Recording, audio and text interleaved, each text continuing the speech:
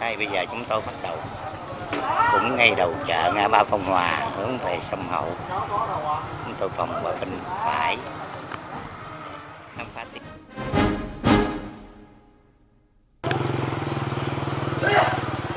Đây, chợ thực phẩm tươi sống gì đây?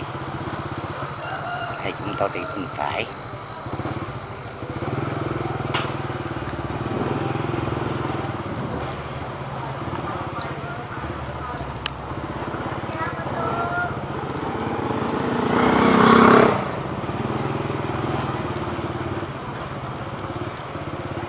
Vô vô vô lái xe một tay.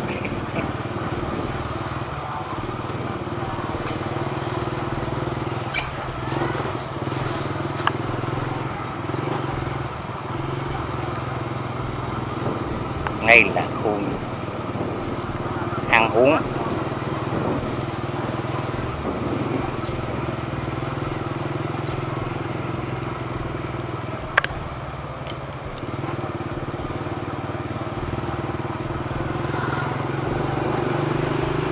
Phía đường bên phải, dường như ít.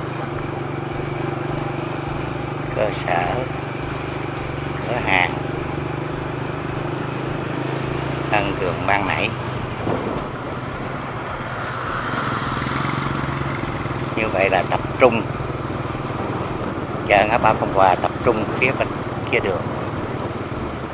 Bên này rất ít cửa hàng đây, tới đây đã ra quốc lộ 54 rồi.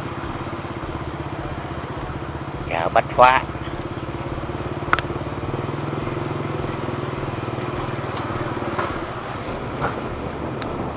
Đô thị ngã ba Phong Hòa rồi, chúng ta đã đi giáp vòng